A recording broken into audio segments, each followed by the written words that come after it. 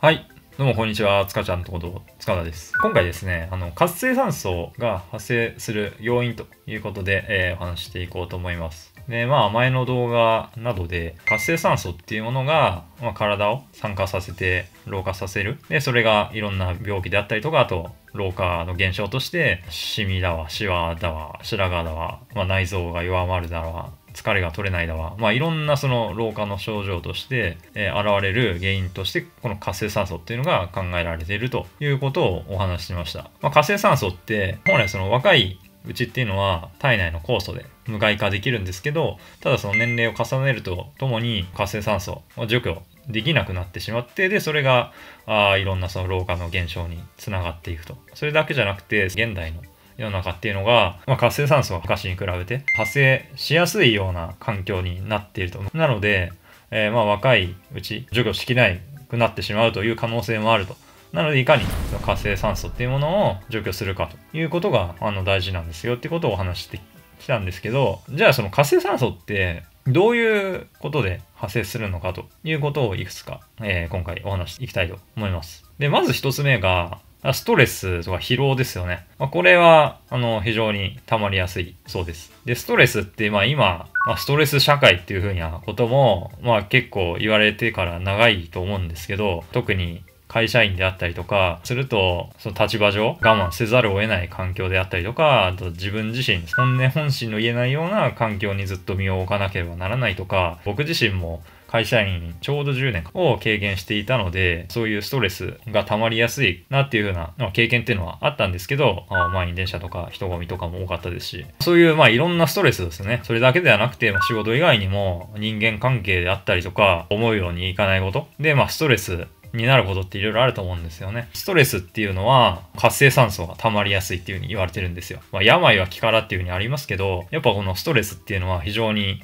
毒だというふうに言われてます。あとはまあ疲労ですね。体に負担かけすぎると、疲れを溜めると、この活性酸素っていうのがあの溜まりやすいと。あとは食べ物ですね。僕もいろいろ水素だけじゃなくて、栄養学の勉強したりとか、いろんな食べ物とか健康系の勉強をしていたので、ここら辺の情報っていうのはいろいろ知るんですけど、例えば農薬が入ってる野菜。まあこれはね、もう防ぎようがないっていう部分もあるんですけど、添加物とか遺伝子組み換えとか、まあありとあらゆるものに含まれてるなという風なものなんですね。で、やっぱりその農薬であり添加物でありっていうのは化学物質なわけですけど、化学物質っていうのは体に合わないわけですから、あるその体に負荷がかかって、それがま活性酸素の発生につながると。特にですね、まあ、ファストフードとかスナック菓子とか、あとカット野菜とか、まあいろいろまあ例を挙げましたけど、まあこういうものっていうのは特に危ないのかなと思います。まあ僕もね、えー別に一切食べないわけではないですし、今も食べたりするときは、あの、あるんですけど、特にまファストフードであれば使われているトランス脂肪酸ですよね。ショートニングとかマーガリンとか言われているものですけど、こういうのって、要は人工的に添加された油なんですよね。分子構造的にはプラスチックと似たような構造らしくて、いわばなんかプラスチックで揚げたようなフライドポテトとか、そういったものですよね、ドーナツとか。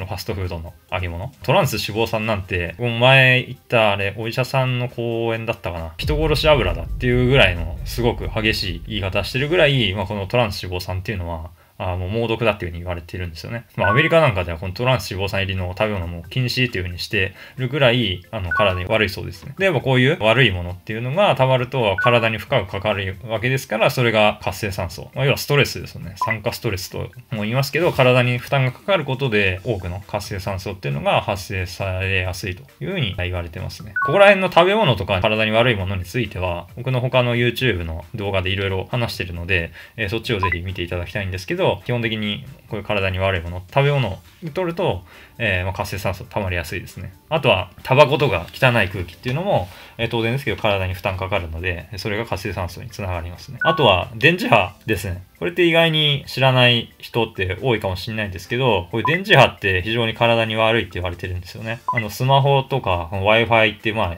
いくつか例挙げましたけど、こういうのって体に合わない電磁波っていうのが出てるんですよね。で、それを浴び続けると体にストレスになって、それが活性酸素につながると。で、やっぱ敏感な人っていうのは、あスマホを耳に当てて電話するだけで、その電磁波の影響で頭が痛くなったりとかする人も、まあ、僕の知り合いでいますね。あと僕自身もそうパソコンを膝の上に置きながらカタカタとやってると、なんかすごくももが腫れたことありましたね。あとスマホをポケットに入れて近くの土手でランニングとかしてるとすごく痛くなる時ありましたね。腫れた時もありました。まあそれ多分電磁波の影響だと思うんですけど、やっぱそういうのでも活性酸素っていうのは発生しやすいと。まあその腫れたというと活性酸素はまあ関係ないかもしれないですけど、要は体に負荷がかかってるってことですよね。これからだと 5G とかっていうのもなんかすごく電磁波の影響と言われてますけど、まあこれはねもう本当便利な反面こういう影響もあるんですよということでまあ知っておいて損はないのかなと思いますね。あとは紫外線とか放射線ですね。こういうのでも浴びると活性酸素っていうのは発生しやすいですね。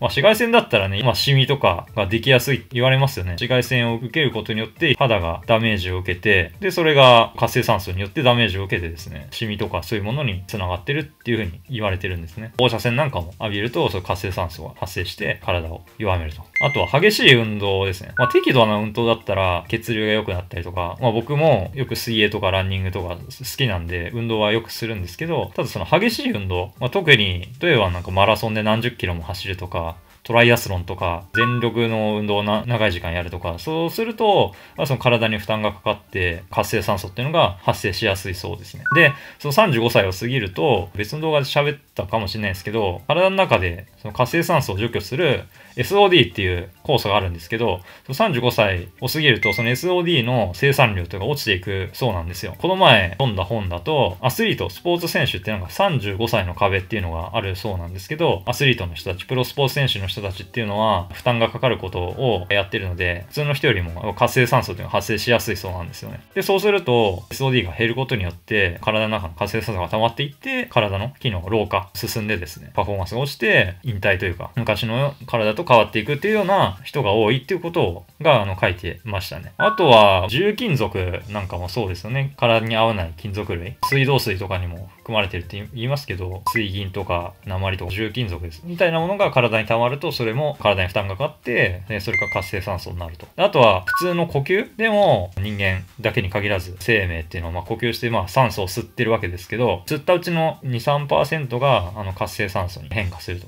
呼吸してるだけでも活性酸素っていうのは溜まっていくそうなんですね。だから酸素ってまあ当然ですけど、命の源ですよね。酸素なしでは生きていくことはできないんですけど、それと同時にですね、酸素自体も毒にもなるということなんですね。で、まあ若いうちっていうのは体内酵素で除去はできるんですけど、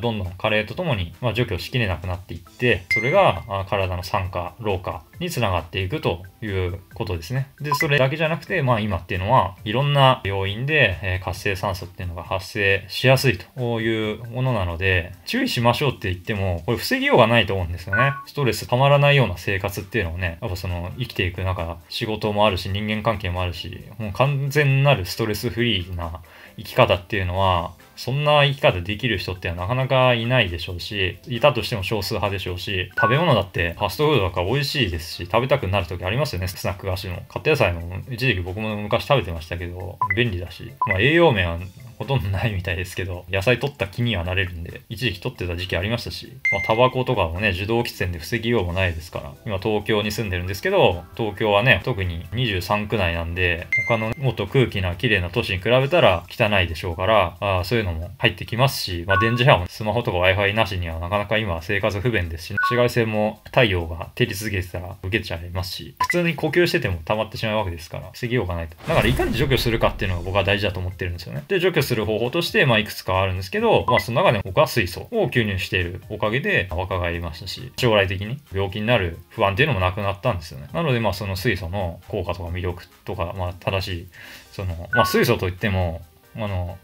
何でもかんでもいいってわけじゃないんですよね。最近ね、その水素水やら水素サプリやら、水素なんちゃらって水素関連のものっていうのがいろいろ出てますけど、実際には使っても意味がないものとか、むしろ逆効果のものとか、まあ、結構あるので、そこはその正しい知識っていうのは必要になってるわけなんですよね。僕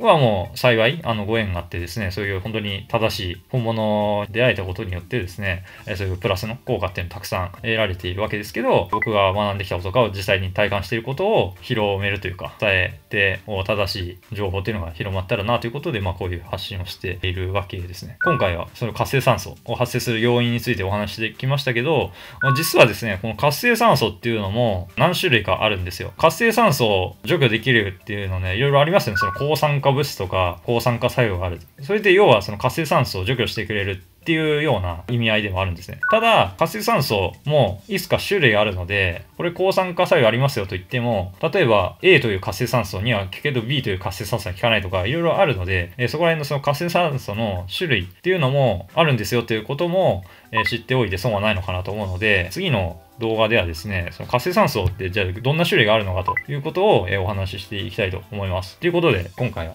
この辺で終わりたいと思います。まあ、今これ喋ってる説明のスライドなんですけど、まあ、もし版で見たいという方がいる場合はですね、あの動画の概要欄、入手方法を貼っておくので、そこからご覧ください。ということで、ありがとうございました。